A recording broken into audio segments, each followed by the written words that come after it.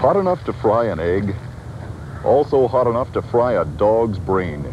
Your dog can't perspire. To cool off, he has to pant. Even with the windows left partly open, the hot air he's breathing can cause brain damage or even death.